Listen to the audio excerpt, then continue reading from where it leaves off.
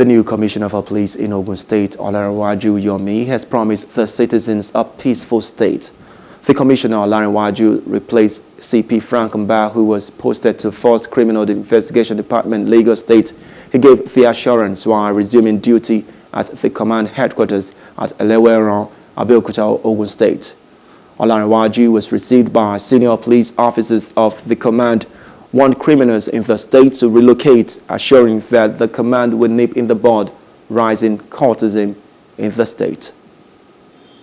Our plans are basically to make sure that we put our men to task so that they can ensure that all citizens, all law-abiding citizens in Ogun State can sleep with their two eyes closed and enjoy their sleep.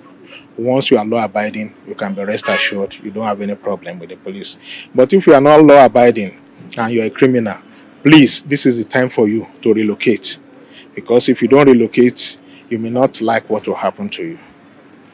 We are out to make sure that everybody who are law abiding enjoy their stay in Ogun State so that Ogun State will remain peaceful as it is. And uh, I can assure you that we are going to synergize with sister agencies to make sure that we achieve our goals. Thank you. Okay, the issue of cultism is a major one we are facing here. What are your plans for that? Uh, just like you rightly mentioned, even yesterday before I finally resumed duty, I've uh, started brainstorming with my officers because uh, it has been on the front burner and we are going to make sure we nip, we nip it in the bud. Uh, Ogun State will not be turned to a cultist state. Ogun State is known to be peaceful and it will remain peaceful.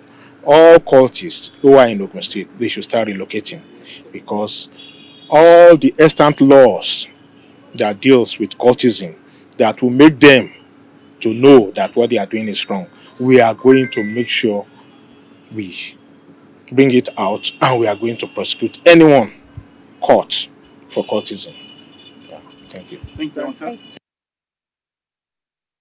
Hello, hope you enjoyed the news. Please do subscribe to our YouTube channel and don't forget to hit the notification button so you get notified about fresh news updates.